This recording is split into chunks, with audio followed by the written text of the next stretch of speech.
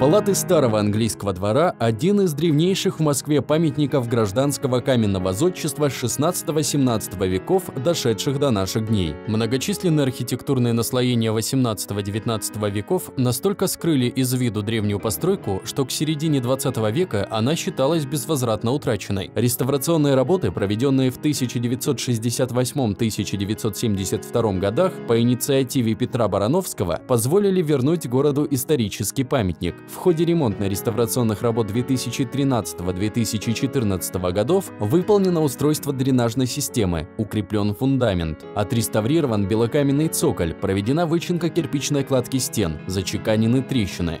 Наша задача была максимально сохранить реставрацию, произведенную в конце 60-х, 70-х годах и продолженную уже в начале 90-х годах вот, и устранить протечки кровли, намокание фундаментов от клета и цокольного этажа от э, сточных вод. Восстановлено декоративное убранство фасадов, отреставрировано парадное крыльцо с парапетом и белокаменными ступенями. С сохранением прежних конфигураций и высотных отметок заменена кровля на новую, выполненную из осинового теса по старинным технологиям. Восстановлена планировочная структура здания, разобраны поздние кирпичные перегородки, отреставрированы отреставрированы интерьеры поварни, синей и галереи. В казенной палате отреставрирована напольная керамическая плитка с восполнением утрат в месте провала. В подклете восстановлены кирпичные полы и белокаменная кладка лестницы. Воссоздана изразцовая печь. Поновлены подлинные столярные и скобяные изделия. В настоящее время в здании располагается филиал Музея Москвы.